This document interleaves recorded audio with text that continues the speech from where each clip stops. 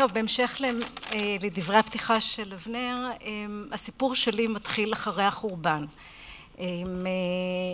כשהייצוגים השונים של לוויים, של כהונה, בעיקר של עבודת המקדש, הם בעצם אמצעי ביטוי בידיהם של יהודים להביע את הכמיהה לבניית המקדש השלישי, לחזרה להקרבת הקורבנות, לחזרה לעבודת המקדש, וזה ההקשר שבעצם לאורך מרבית ימי הביניים אנחנו נמצא תיאורים של כהונה, מקדש ולוויים באומנות היהודית. הדימויים של המקדש, של הכהונים, מתחילים מיד עם חורבן הבית ואפילו לפני. בעשרים וחמש דקות נוכל, עלינו לדלג על חמש מאות שנה ואני בחרתי להתחיל עם המאה החמישית לספירה, עם תגלית של שנות התשעים, מאוד מאוד חשובה בארכיאולוגיה, רצפת הפסיפס של בית הכנסת בציפורי. אנחנו יכולים לראות בשלושה, ברצועות העליונות, לפי הרישום של רצפת הפסיפס, שהיא מוקדשת ברובה לדימויים שקשורים במקדש. אנחנו רואים את מנורות שבעת הקנים, ומתחת להם אנחנו רואים ייצוגים שקשורים לעבודת הכהן. לצערי הרב, דווקא נושא ההרצאה שלנו, הכהן עצמו, נעלם ולא שרד בפסיפס. אנחנו יכולים לראות רק את השם אהרון שמופיע כאן, ואת הפעמון של שולי המעיל שלו, שכמובן הפך לסימן ההיכר של בגדי הכהן הגדול. ננסה לנסות לפענח את מה שהפסיפס העשיר הזה מתאר, ואני נסמכת כאן על מחקריהם של אהוד פסיפס. זה גם קיצור כשאין זמן. כן. אוקיי, זה חידוש שלי, אבל כל מה שאני אומרת מכאן והלאה על הרצפה נשען על מחקריהם של זאב וייס ואהוד נצר. מה שהם חשפו בעצם שהפסיפס מספר את סיפור הקדשתו של אהרון לעבודת המשכן עוד במדבר. נסמך על מה שנאמר בשמות בפרק כ"ט, כשמימיד אנחנו רואים את כיור הרחצה, הטהרה שהם עברו לקראת עבודת המשכן, באמצע אנחנו רואים את המזבח, לשמאלו עמד אהרון שדמותו לא שרדה, ואנחנו רואים את השור שהוקרב על המזבח במסגרת אותו טקס של הקדשת אהרון ובניו לעבודה במשכן.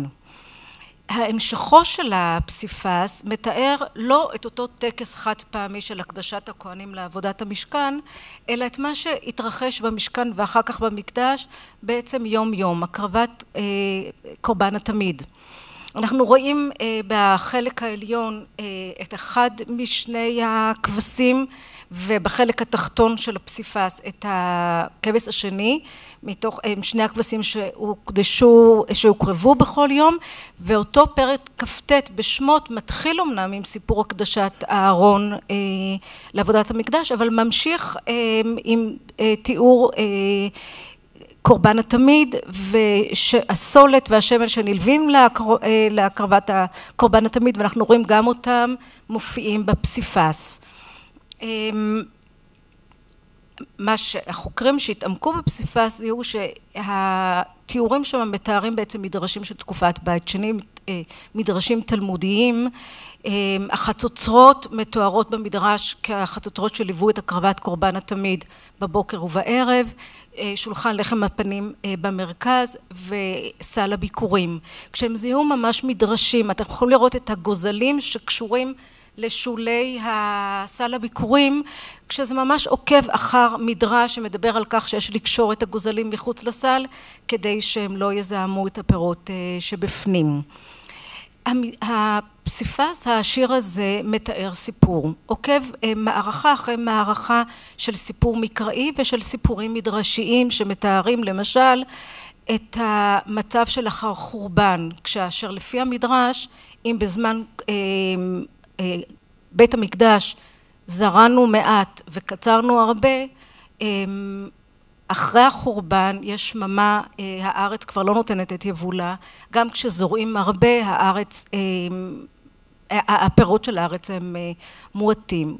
המדרש הזה שכנראה עומד ברקע הפסיפסים באמת משקף מצד אחד אבל על החורבן, על התקופה שאנחנו מצויים במאה החמישית לספירה וגם מסרים משיחיים שאותם אנחנו כל הזמן נראה באומנות היהודית שמתארים כהנים ומקדש כביטוי משיחי.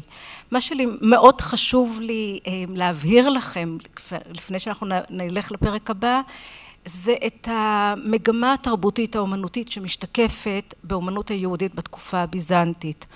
יהודים נמצאים כאן תחת השפעה של תרבות הסביבה הנוצרית, עדיין שאריות של השפעה הלניסטית והם מתארים סיפורים בדיוק כמו שבנצרות מתארים את עיקרי הדת ואת הברית החדשה והברית הישנה באמצעות סיפורים ותמונות ותיאורים פיגורטיביים לרוב, אומנות נרטיבית, סיפורית.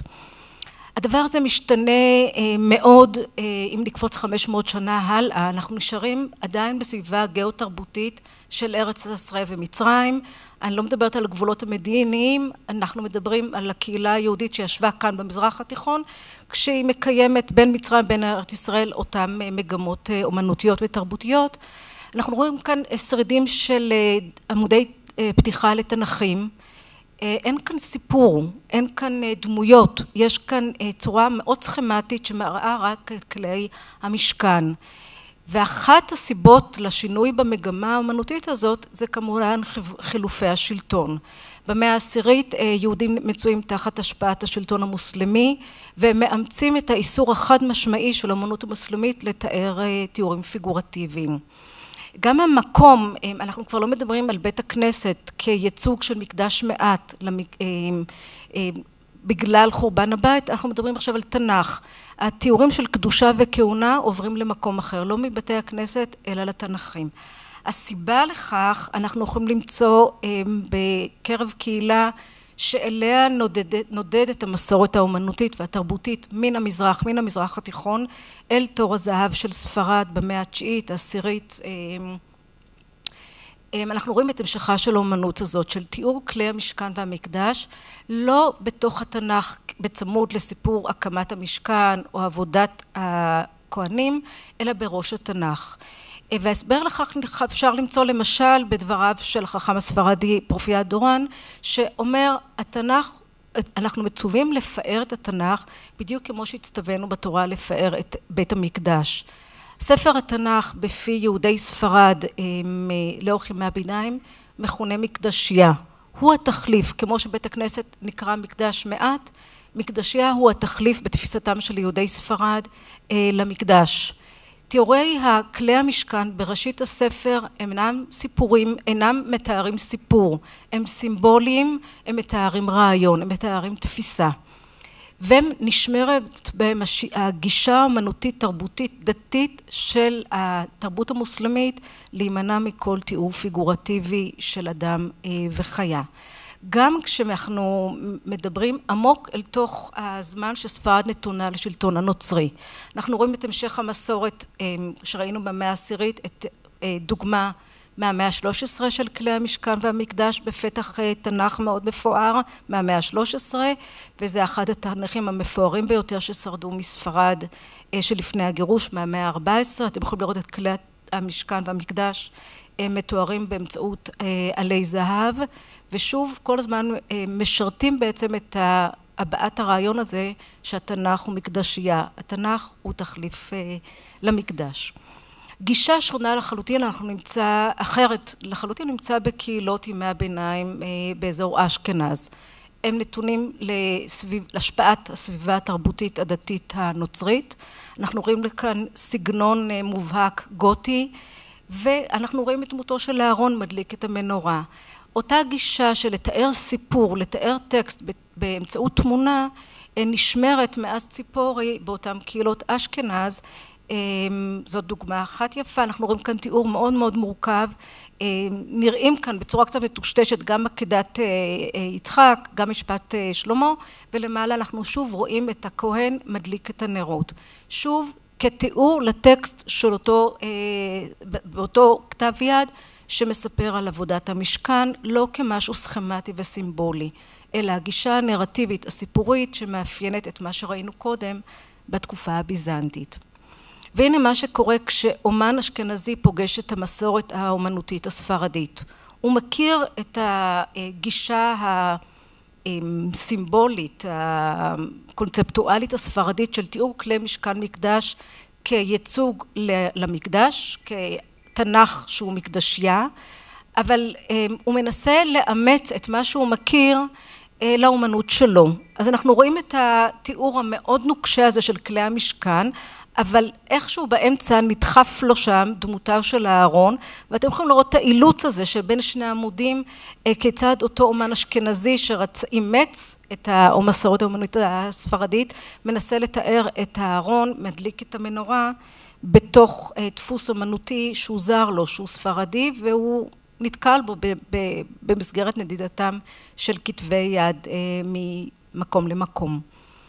אנחנו מגיעים במסע שלנו למאה החמש עשרה, בסופה של המאה החמש עשרה, שמציינת שינוי כלל עולמי, מהפכה.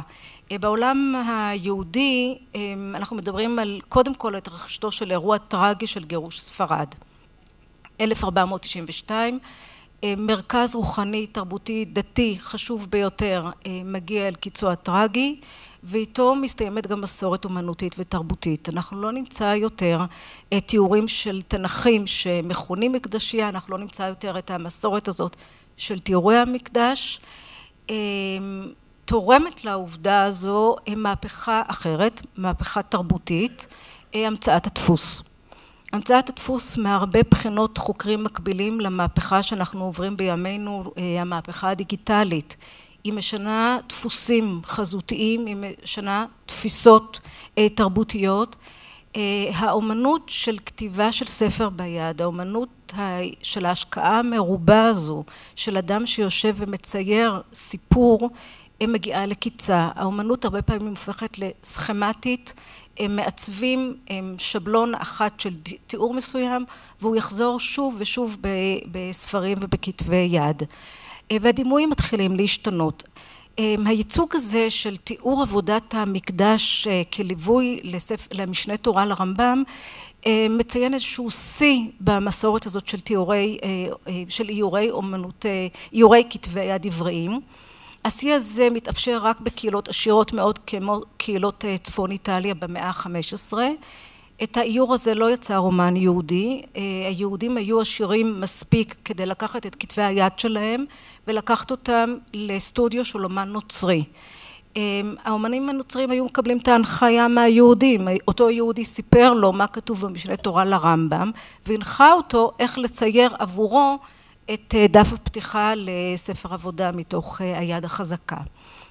אנחנו רואים כאן סגירת מעגל של אלף שנים, שוב את אותה גישה נרטיבית סיפורית שמתארת טקסט באמצעות תמונה שראינו בפסיפס ציפורי, אנחנו שבים ורואים באיטליה של המאה החמש עשרה ושוב אין מה להתפלא, איטליה של המאה החמש עשרה, היהודי איטליה של המאה החמש עשרה מאמצים את אותה תפיסה אומנותית דתית שקיימת בסביבה הסובבת הנוצרית. עוד שינוי מהותי שאנחנו רואים בכתב היד הזה זה ייצוג חדש שלא קיים קודם כזכר למקדש וזה המבנה עצמו, מבנה המקדש. מכאן והלאה, אל תוך העת החדשה, לא נראה יותר את הכלי המקדש, לא נראה יותר את דמויות הכהנים שמקריבים קורבנות, אנחנו רואים באומנות היהודית את האמצעי של ביטוי, כמיהה לבניין המקדש השלישי, באמצעות תיאור של המבנה. התופעה המעניינת היא שבאומנות היהודית של איטליה ושל ארץ ישראל, המבנה הזה הוא בצורתו של כיפת הסלע. זה נושא להרצאה לא של עשרים דקות, של עשרים הרצאות, כיצד קורה שיהודים בוחרים לתאר את המקדש שלהם בצורת כיפת הסלע. זה אופייני לקהילות האלה, ארץ ישראל ואיטליה. באשכנז, שוב, הסיפור הוא אחר ויהודים מתארים את מבנה המקדש בצמוד לתיאור המקראי כמבנה מלבני. כפי שאמרתי לכם, הכל משתנה עם המצאת הדפוס, ולכן אני אסיים את ההרצאה בדימויים של מקדש ולוי בדוגמאות של מה שקורה באומנות היהודית תחת השפעת הדפוס. אנחנו רואים כאן ייצוגים אישיים, כבר לא ביטוי לאומי, דתי, של כמיהות משיחיות לבניית הבית, אלא כיצד כהנים ולוויים מייצגים את עצמם בייצוגים פרטיים, כמו על מצבות קבורה, על כתובות, ובחרתי להראות באמת סמלי מדפיסים, כי השינוי הזה מתחולל הרבה תחת השפעת הדפוס. ונעשה סיור מהיר במרכזי הדפוס של העת החדשה, הדפוס העברי. אתם יכולים לראות כיצד גרשום הכהן בקושטא, איסטנבול, במאה ה-16, מה סמל המדפיס שלו, ואותו הדבר אנחנו נראה גם בפראג. זאת אומרת, זה סכמה קבועה כיצד כהן מציג את עצמו. במקרה הזה, בתי דפוס שהיו בבעלותם של יהודים כהנים. גרשום כץ המחוקק, בתחילת הדפוס מחוקק הוא אדם שעוסק בהייטק של המאה ה-16 בדפוס. אנחנו מתקרבים למאה ה-16 וה-17, שוב מרכזי הדפוס העברי באותה התקופה בפראג וב... אה, שניהם דווקא במקרה הזה בפראג, שוב אותו דפוס, אותה צורה חוזרת שוב פעם ושוב פעם לייצוג של הכהן. וכך מיוצגים בני משפחת לוי, ושוב זה לא רק בספרי מדפיסים, אני בחרתי את הדוגמה הזו מכיוון שהיא פחות מוכרת, אבל אנחנו נראה את זה גם על מצבות קבורה. כשנצא לטיולים בפראג או בפולין ונראה מצבות קבורה ישנות אנחנו נראה את הזיהוי הזה של כהן ולוי באמצעות שני הסמלים, ידי הכהן או כד הרחצה שהלוויים היו רוחצים את ידי הכהנים כסמל למשפחת לוי. ואלו שתי דוגמאות כיצד בני משפחת לוי שרוצים גם לייצג את השם שלהם. בר סגל מוסיף לכיור הרחצה גם דמות של דוב. צבי הירש סגל מוסיף לכיור הרחצה, לכד הרחצה דמות של צבי. אני מסיימת עם הלוח לסוכה שפתחתי בו, אנחנו כבר עמוק אל תוך המאה העשרים, באותה סוכה שנמצאת בגלריה של מוזיאון ישראל, דמות הארון מופיעה כחלק משבעת הדמויות של האושפיזין. כד הרחצה של ידי הכהן מופיע שם כביטוי משיחי, לחזור ולעבוד, לקיים את עבודת המקדש. דמותו של הצבי שנוספת לכד היא כמובן איזשהו שרבוב של הדמות של השם של האומן האלמוני שיצר את הסוכה, אנחנו לא מכירים אותו, אבל קל מאוד להבין ששמו היה צבי הירש והוא היה כמובן מבני משפחת לוי. עמדתי בזמן? תודה רבה.